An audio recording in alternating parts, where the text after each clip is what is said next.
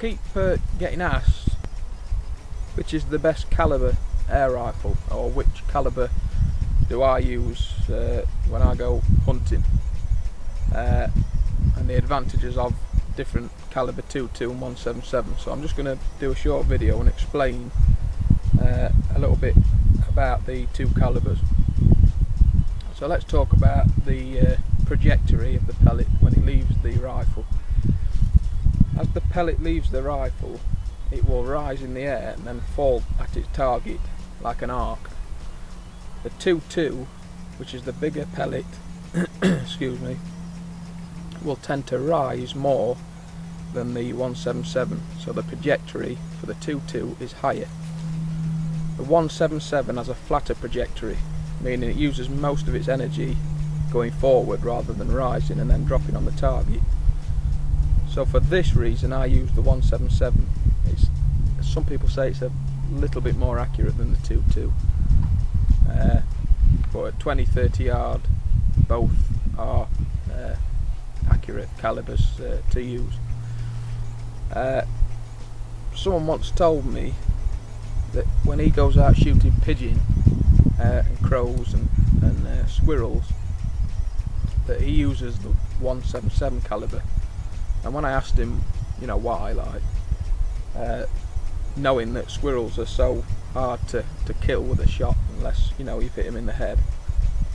He told me that the 177 due to its flatter trajectory means that he can track or make a path through the branches of the trees to get to his target better. It means that when you've shot the pellet and it's rising through the air, it won't rise and hit a branch. You can if the branches are close together he can navigate a path through so he uses a 177 for that. So I've always used 177 and uh, my brother-in-law uses a 2-2 in his air arms but and both at 20 yards 30 yards are accurate uh, you know enough. There's really not much in it so it's it's it's down to you uh, what you feel comfortable uh, when you when you're shooting uh, another thing I was asked was will a 177 killer rabbit? And the answer to that is most definitely yes. Uh, sorry, my dog's just chasing a rabbit. Arch! Arch! Anyway, sorry. Uh, yeah, he asked me if it, a 177 killer rabbit. Uh, I've put this into terms that you would understand. A rabbit's skull is much like an egg, and the fur around the skull is much like an orange peel around the egg.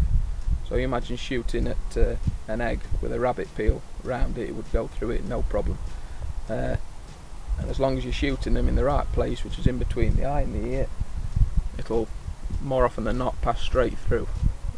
The 2-2, with it being a heavy, heavier caliber, will have a higher impact, you know, a heavier impact. But the 177 at 20 30 yard when you've when you've shot your rabbit in the head it'll more often than not it'll go straight through.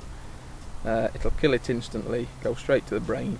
Uh, they'll either drop like a stone or they'll shoot themselves up in the air about two foot and drop down.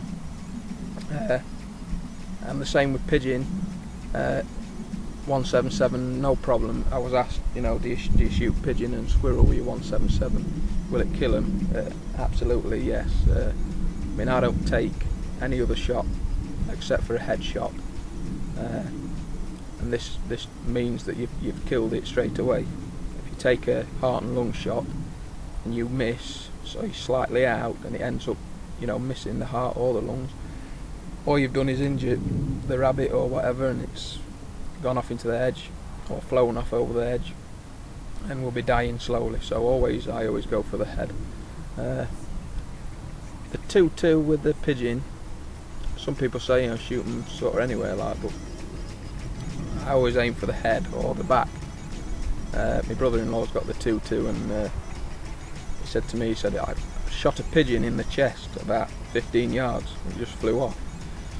Uh, that's because the, the, chest bone on the uh, pigeon looks like a plate of armour and it's sort of curved like that and as you shoot it, it just deflects the pellet uh, it'll injure the bird and it'll fly off but it won't do any uh, instant damage uh, they say if you're shooting at a pigeon and you're aiming at the head, the head's so small that if you miss, you've completely missed.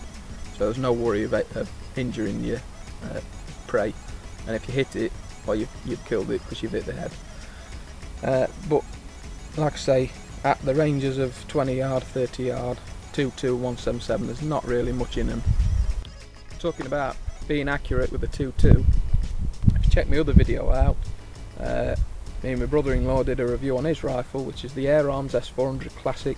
That's a 2.2, uh, and in that review, he took a standing shot at 30 yard and shot an IKEA pencil out of a uh, wooden post. So, if you've any doubts that the 2.2 is uh, is not as accurate as a 177, check that uh, video out. Let me know what you think. I think uh, I would always choose 177. It has the edge, I, in my opinion, uh, due to the flatter trajectory, uh, and I've always sort of seen them to be more accurate. So it's down to the uh, down to the shooter really. But like I say, 20-30 yards, not much in it at all. So I hope that's uh, been useful, uh, cleared up a few more questions about which caliber to use. Uh, like I said, I did the video because I couldn't really explain it fully in a comment, so that's the only reason why I've done the video. And those of you that have been shooting for, for years uh, probably found the video useless, uh, but it's, it's for those that are just starting out and asking the questions of which caliber to use. So I hope it's been helpful. If it has, let me know. Uh, if you want to subscribe, please subscribe. If you've got any comments or questions, please leave them below and I'll get back to you the best I can. Cheers.